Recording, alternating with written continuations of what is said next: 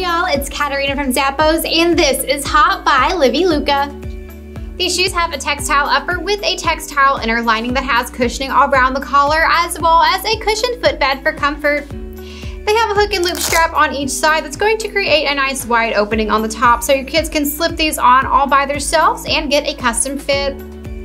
I absolutely love that sloth and camo look, super cute, and I think they would pair so well with some light colored jeans and a pink top.